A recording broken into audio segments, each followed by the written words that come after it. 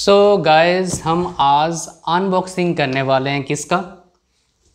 XP pen Deco zero three का।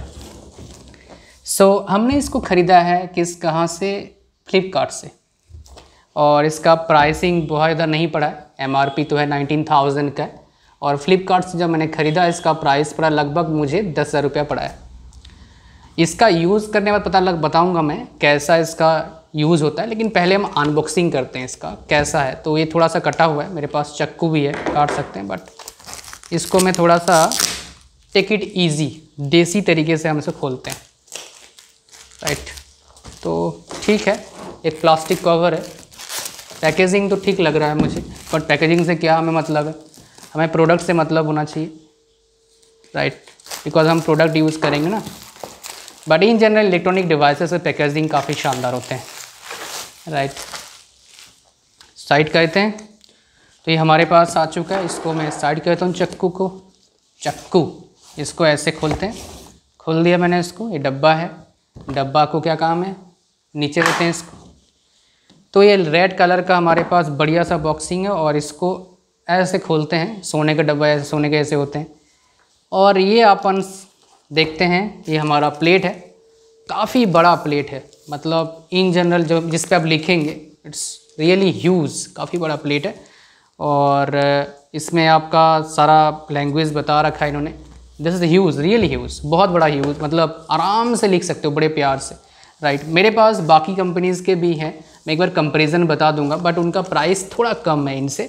This one is really huge बहुत ज़्यादा मतलब आप देखो, अगर मैं इसको थोड़ा साइड करता हूँ, आप ह्यूज मतलब आप दोनों हाथ से लिख सकते हो आराम से। काफ़ी बड़ा है। मतलब खाने के जो ट्रे में सामान नहीं रखते हैं, आपका जूसेस वगैरह पिलाते हैं, वो उस जैसा इतना बड़ा यूज़ है राइट अगर इसको हम खोलने का कोशिश करें, तब भी हम, मैं आपको दिखा सकता हूँ। Let me just open it I hope आप देख पा रहे होंगे राइट तो ये आप देख सकते हैं एक्सपी पेन काफ़ी बड़ा है इसमें, ये सारा मतलब आप देख पा रहे होंगे I hope so let me just ये सारे ऑप्शन है यहाँ पर। ऊपर please remove the protector before using use करने से प्रोटेक्ट रिमूव करना है। यहाँ पर बैटरी वाला सीन है। और इस जगह पर इतना बड़ा स्पेस पर आप लिख सकते हो राइट तो इसको हम क्या करते हैं? अंदर कर देते हैं बिकॉज़ भी यूज़ करेंगे बट इसको अभी मैं अंदर कर देता हूँ कुछ टाइम के लिए right so just let me just put the cover because ठीक है। थोड़ा आराम से हैंडल करना गिर गुर ना जाए इलेक्ट्रॉनिक डिवाइस है राइट सो so, अपन इसको देखें कि क्या तीस था इसमें। अब देखते हैं क्या क्या अंदर है। एक हमारे पास केबल है यूएसबी केबल बोल सकता हूँ राइट अब बाकी और और एक चीज़ है दिखाऊँगा आपको मैं। ये हमारा ड्राइंग टेबल यूज़र मैनुअल है। उसके बाद ये व्हाट इज़ इट ये आई थिंक ये उंगली डालने वाला है शायद मे बी क्या है, पता नहीं पेन रखने वाला होगा शायद, देखते हैं। ये अपना केबल है यूएसबी केबल कनेक्ट करने के लिए होगा इसका।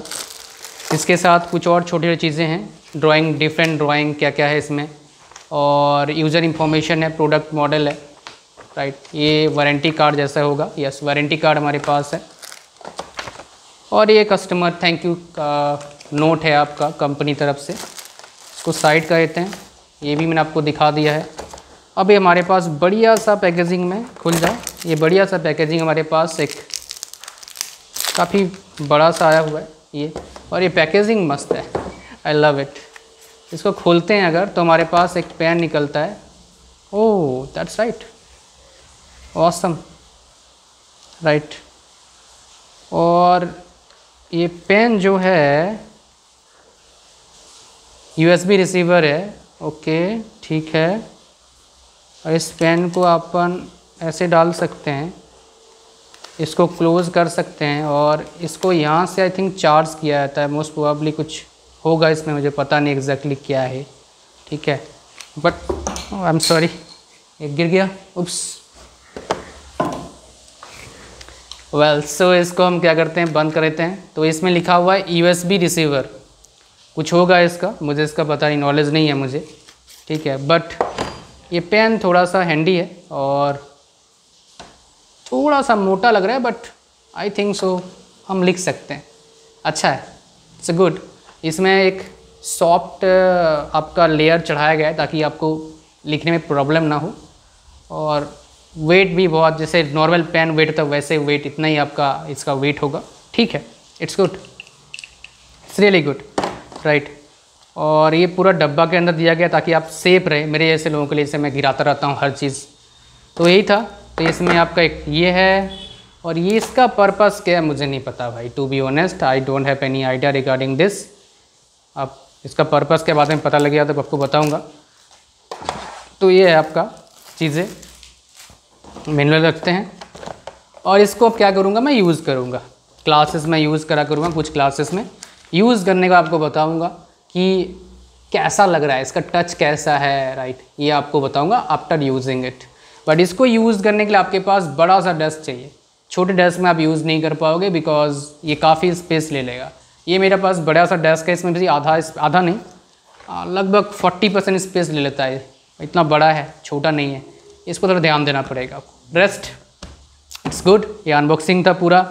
एक्स पी पेन का एंड डेकोर ज़ीरो थ्री इसका जो आपका मॉडल नंबर था राइट डेकोर ज़ीरो थ्री तो थैंक यू वेरी मच इसको आप करते हैं पैकेजिंग अब इसको ले जाऊँगा जहाँ पर मैं पढ़ाता हूँ.